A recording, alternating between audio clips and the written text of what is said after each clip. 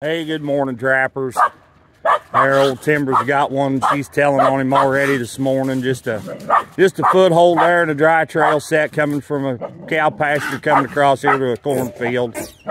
We're uh, we're started off right this morning. We're going to get him taken care of and get on our way here. All right, gang. There's another one back in there.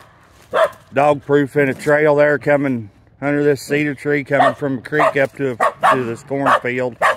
Pretty nice coon there. That last one wasn't hardly worth it bringing in, but he's a carcass anyway. So anyway, we'll get him took care of and head on down the way here. All right, guys, there's one there in a, a dog proof. We're right here at the edge of the property. Uh, coming from that picket fence, you, you can't miss that trail coming across. Pretty nice coon too, so we'll get him took care of here right quick and get on our way.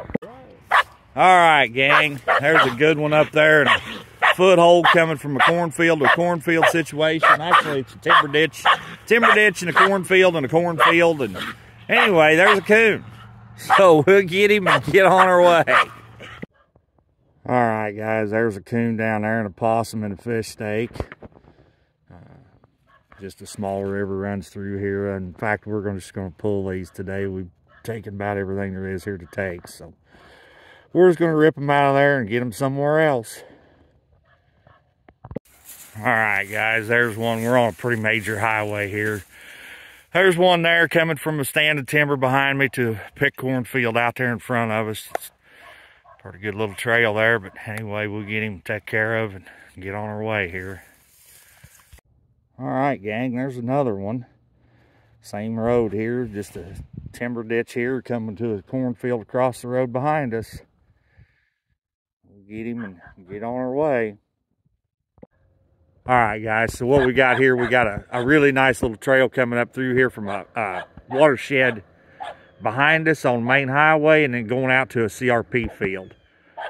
Pretty nice coon right there. Just a dry set foothold in the trail. That's what you take. All right, we'll get him go get him took care of and get on our way. All right, gang, there's a little beaver.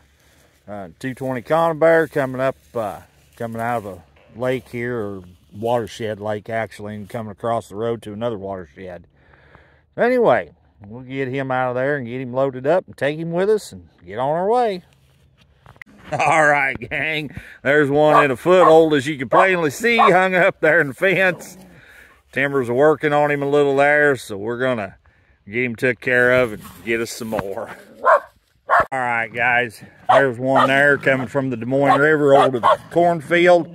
Caught a number 11 there in a dry trail. And Timbers are telling on him, doing her thing, so I better do mine. All right, gang, there's a big old coon there in a dry foothold in the trail.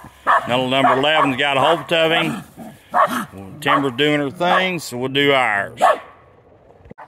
All right, gang, I don't know how well you can see it, but Timber's down there fighting, well, not fighting him, but face barking ones. So anyway, we'll uh, we'll get him dispatched and then we'll take a look at him.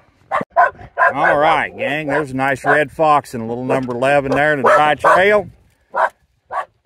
We'll uh, we'll get him dispatched and get on our way here. Timber, do you see them deer? Huh? Do you see them deer? Timber. Do you see them deer? yeah. All right, gang. I don't know how many coon are laying here for sure. We just unloaded there and haul them, and a pretty good day's catch anyways. We got to get started skinning here. All right, guys. We're all right, guys. We're going to end this video here. I sure appreciate y'all tuning in to watch, and if you would please just hit that thumbs up for me. That's all I'm asking. Once again, this is Dale Billingsley with another one. Signing out.